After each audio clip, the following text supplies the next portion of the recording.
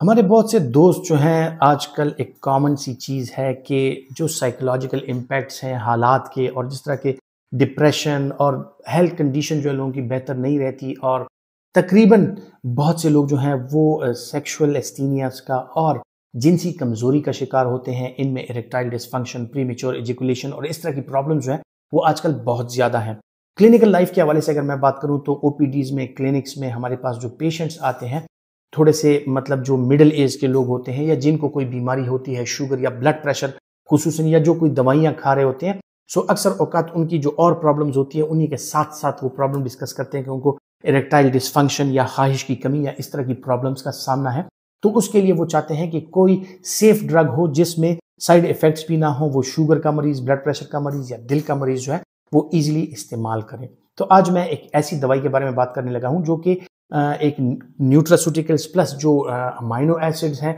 जो हमारी हेल्थ के लिए चाहिए होती है, उनकी कम्बिनेशन है। ड्यूरॉन प्लस के नाम से अवेलेबल है और मैं आपको इसकी कंपोजिशन आज बताता हूँ कि इसमें ट्राइबुलस इसमें जेंसिंग इसमें एल्कारनेटीन आर्जिनिन एस्पार्टेट और बहुत से ऐसे न्यूट्रिशनल चीज़ें पाई जाती हैं जो कि आपकी स्पर्मेटोजेनेसिस के लिए, आपके इरेक्टाइल डिस्फंक्शन के लिए और मुख्तलिफ़ किस्म के जो आपकी ख्वाहिश की कमी है, उसके लिए कारामत साबित होती है तो मैं आपको बताता हूँ कि ये कैसे होता है और इस ड्रग के जो साइड इफेक्ट्स और इसके जो पॉजिटिव इफेक्ट्स हैं, उस हवाले से बात करते हैं। जिस तरह के अमाइनो एसिड्स का मैंने ज़िक्र किया कि जितनी भी प्रोटीन्स आपकी बॉडी में बन रही हैं सो उनका जो बुनियादी यूनिट है, वो अमाइनो एसिड है। एल आर्जिनिन एस्पार्टेट और इस तरह के मुख्तलिफ़ अमाइनो एसिड हैं, जो बन के मुख्तलिफ़ किस्म की प्रोटीन्स बनाती हैं और इन्हीं प्रोटीन्स पे बेस्ड आपके जो हारमोन्स हैं, वो बनते हैं। सो फैट्स और प्रोटीन्स और कार्बोहाइड्रेट्स ये सारी चीज़ें मिलकर जो है तो एक कम्बिनेशन में जो आपके हारमोन्स हैं, उनमें भी इजाफा करती हैं और इसी के साथ साथ इसमें ट्राइबुलस और जेनसिंग पाया जाता है,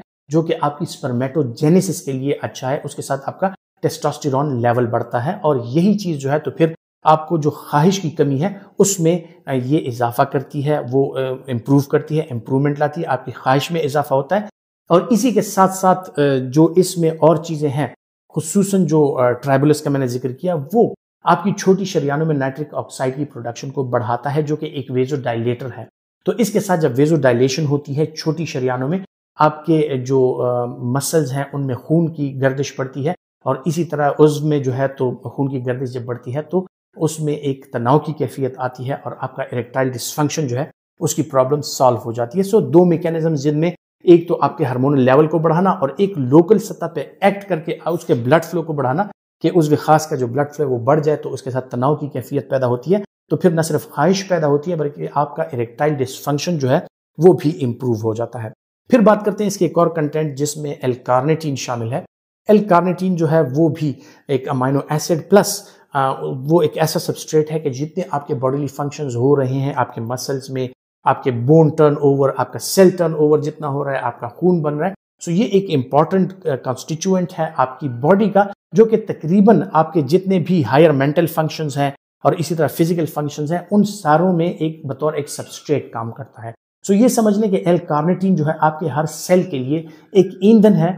और आपका हर सेल जो है, ये इस ईंधन को लेके अपनी कारकर्दगी बढ़ाता है और आपकी फ़िज़िकल मेंटल और सेक्सुअल जो जितने भी कारकर्दगी आपकी है या जितने फ़ंक्शंस आपके हैं, उनमें इम्प्रूवमेंट लाता है।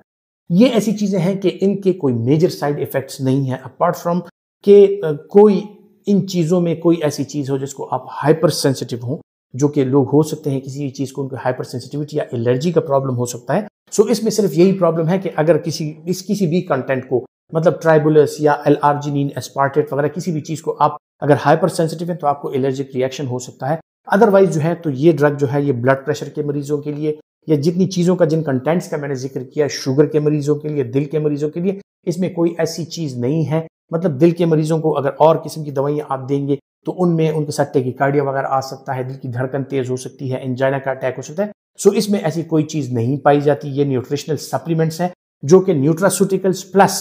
एलोपैथिक जो मेडिसिन है, उनकी एक कम्बिनेशन से बनता है। और इसी के साथ साथ आपके लिए इंतहाई फ़ायदेमंद है। जब भी मैं किसी ड्रग का ज़िक्र करता हूँ, तकरीबन मेडिसिन नॉलेज के हवाले से जितनी हमारी वीडियोस हैं, मैं एक चीज़ का ज़रूर ज़िक्र करता हूँ कि ये जितनी भी चीज़ों का ज़िक्र हम करते हैं सेल्फ मेडिकेशन के लिए नहीं करते। सिर्फ़ इसलिए करते हैं कि आपका एक माइंड बन जाए कि कोई चीज़ आपके लिए अगर मौजू है या कोई चीज़ आपके लिए नुकसानदेह है तो आपको उसकी समझ आ जाए। बहरहाल, अगर आपको इस तरह के कोई मसाइल हैं तो सबसे पहले तो उसकी तशखीस होना ज़रूरी है कि वो किस वजह से है। आपका डॉक्टर ही तशखीस करके आपको बता सकता है कि आपकी प्रॉब्लम्स किस वजह से हैं और उनका हल क्या है। लेकिन ड्यूरॉन प्लस के हवाले से कुछ मालूम थी जो मैंने आप तक पहुंचाई। लोग इसको नेट पे बहुत ज़्यादा सर्च करते हैं। सो उनके लिए ये वीडियो खसूस कि अगर आप सर्च करें तो ये ये उसकी प्रॉपर्टीज़ हैं, ये ये उसके कंटेंट्स हैं और इस तरह से जो है ये ड्यूरॉन प्लस काम करती है। खवतिन हज़रत उम्मीद करता हूँ कि ये मालूम आपके लिए फ़ायदेमंद साबित होंगी और अगर आप समझते हैं कि ये आपके लिए फ़ायदेमंद है तो रुके क्यों हैं? आप दूसरों तक पहुंचाएँ? क्या चीज़ आपको रोक रही है? वीडियो को लाइक करें, सब्सक्राइब करें और शेयर करें।